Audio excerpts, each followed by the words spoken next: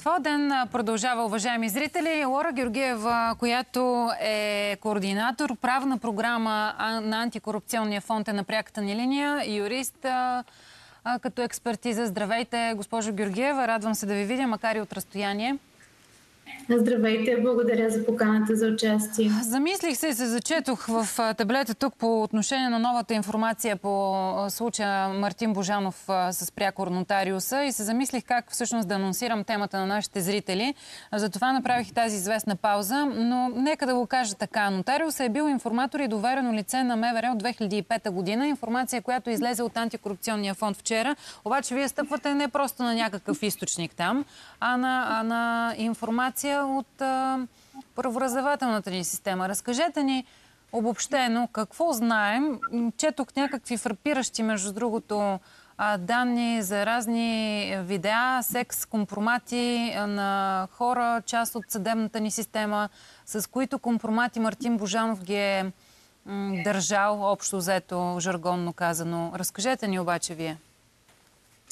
Точно така. Става въпрос за една справка. Това е оперативна информация, която е изготвена в рамките на ГДБОП, изпратена на прокуратурата, на Софийска градска прокуратура и възоснова на която в последствие, както каза и господин Сарафов пред прислушването пред ВСС, възоснова на нали, тази информация е образувано досъдебно производство за организирана, за организирана престъпна група. Това е информацията, която е била събрана. Това е предварителна информация. Тя е следвало да бъде вече проверена в рамките на започналото наказателно производство и със средствата и методите на наказателно-процесуалния кодекс. Дали, доколко, кога това се е случило, няма как да знаем. Така или иначе, от 2022 година до момента не виждаме предприяти действия. Както знаете, непосредствено след убийството на Мартин Божанов, прокуратурата съобщи, че производството се е развило до етап, до който те са щели до дни да го арестуват и да му повдигнат обвинение. Дали действително а, това е щяло да се случи, няма как да кажем на този етап.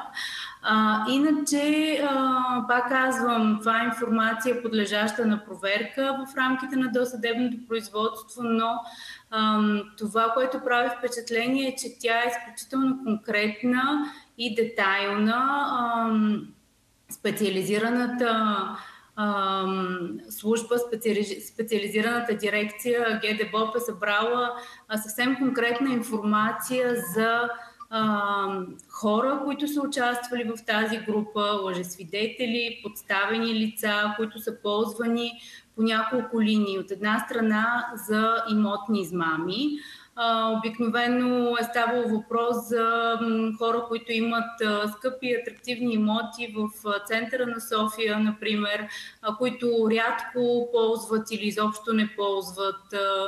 Получаване информация за вземани са тези имоти с констативни нотариални актове. В последствие нали, за някои от тях са водени дела, някои са спечелени, други не са успели да си ги върнат хората. Това е едната линия. По друга линия са използвани също лъжесвидетели и подставени лица за образуване на наказателни производства срещу лица, които са така, противници на нотариуса по една или друга линия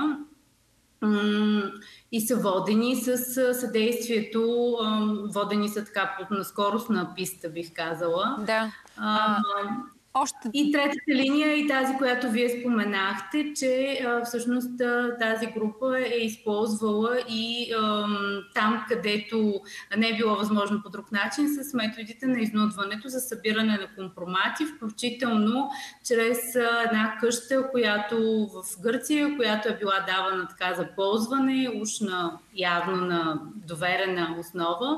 И в последствие нали, там са правени записи, те са използвани за изнудване на магистрати, като разбира се, зависимостта на, на, на магистратите, ползвана по различни линии, най-често да се решават проблеми на хора, които имат проблеми с правосъдието. Тоест, дайте да само, се... да, дайте две неща, понеже времето ни е ограничено, да уточним. 22 година е била изготвена а, тази справка, според това, което вие изнасяте като информация. Какво се е случило до 24 година? Това са две години, в които какъв е вашия извод? Какво се е работило? Защо се е чакало? И отделно този, това заглавие, което прочетох в 24 часа, то е, разбира се, като информация извадено от, от вас, от антикорупционния фонд. Нотарио съдържал магистрати чрез секс видео. Това, което споменахме с вас до момента, обаче е замесено името на бившата жена на Пепи Еврото. Точно така. Това е един много важен извод, нещо за което имахме данни до момента, но сега се потвърждава категорично, че всъщност двете групи на Пепи Еврото и на Мартин Божанов нотариуса не само а, не са си пречели, ами са работили, са си сътрудничали, работили са заедно, включително по тази линия да се а, събират компромати срещу, срещу магистрати, които да бъдат ползвани. И всъщност свидетелите, които а, са разпитани а, от ГДБОП, точно това обясняват съвсем конкретно как е вървяло сътрудничеството, а, именно лично с участието на съпругата на Пепи Еврото, която към онзи момент е била изключително и реално до раздялата им най-близкият човек, най-доверения, който вече знаем и от други свидетели, е използван за ние осъществява такава дейност. Тук става ясно, че тя е осъществявана заедно с нотариуса. Засечени са и събрана и много информация от гранична полиция. Засечени са съвместни излизания от страната на а, Любена Павлова и нотариуса, както а, също и, и на нотариуса с неговите съдружници Емил Писков а, и съпругата му Седия Немска.